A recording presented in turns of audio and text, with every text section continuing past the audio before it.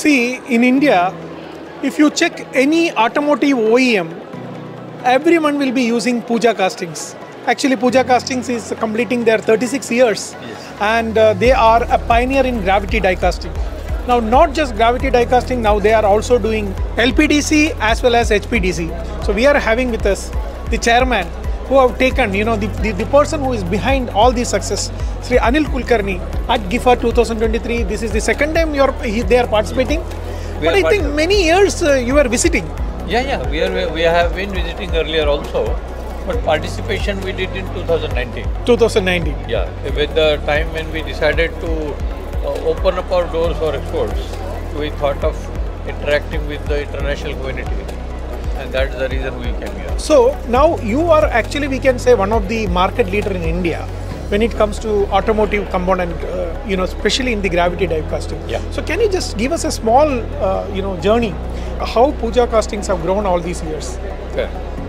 Actually, Pooja casting, and we started in 1987. Uh, to be precise, it is on 15th uh, June 1987. And uh, there afterwards, initially we were doing it on a very small scale. Uh, it was a, mm, a plot of around 1200 square feet was taken on rent. And then uh, we started with that. But after, within two years of time, we got our own land in MIDC. And that time, you know, Indian government or especially the Maharashtra was there supporting establishing industry, small scale industry in a reasonably good way. Uh, under that, I started, I got that plot in a proper way. And then, uh, you know, right from the beginning, I, I was working for Tata Motors. And uh, they were very, very helpful and very, you know, they are the people who uh, started the small scale entrepreneurship in, uh, uh, in and around Pune. Yeah, we after some days, then uh, you know, the work as the work increased, then the second unit, the third unit, fourth unit. Likewise, we were having around five units in uh, Bhosri industrial area. But it was entrepreneurial growth because it was only when one loan was completed or paid, the second one was taken, and uh, that is how uh, you know it was. They were all small units; they were not big units, around 10,000 square feet, 15,000 square feet, and all that. But it is in uh, around 2007. We, we we started thinking around 2005.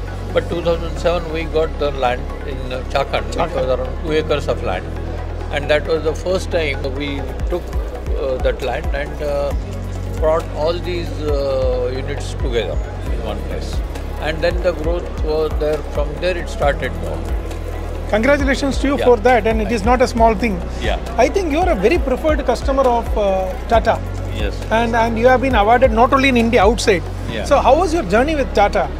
Tata actually, I sta- we started our journey with Tata uh, around 36 years before. We are still doing with them, and we are going very very strong. We are one of their preferred source for aluminum die castings, the requirements. We have been working along with them in their development also. Okay, when these new engines were developed, we, we supported the development activity in a way that we uh, modified the components, modified the drawings. We did it in record time. And what we believed in just in time and first time right. First time right and always right is the one what we have been uh, following in our journey. But that is a very challenging thing, right? It First time it right, all time, all time right, is especially in the foundry industry. especially our team uh, has able to uh, achieve it. Our uh, young and dynamic uh, MD of our company, Mr. Sanket, he, he has been working in the forefront.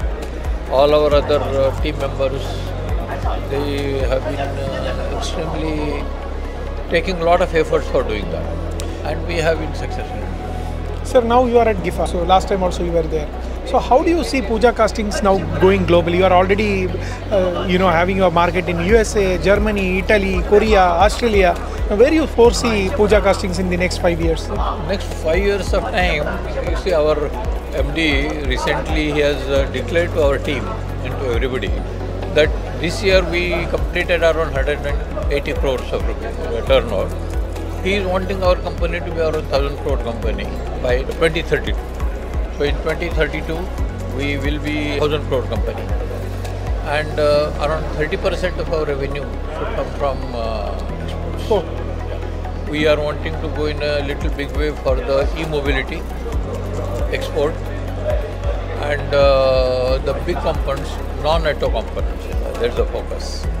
Because auto is something which we'll be doing. We'll continue. We are strong with it. But then we have built up our strength over a period of time on the non-auto components. and the changing scenario also we need to Yes, understand. absolutely. The PVs and all those things are going to take some bunch of. Definitely they are going to take, but only thing is that it is not going to be that uh, big a challenge because IC engine is going to be there as long as petrol and diesel is there. Thank you very much for your insights.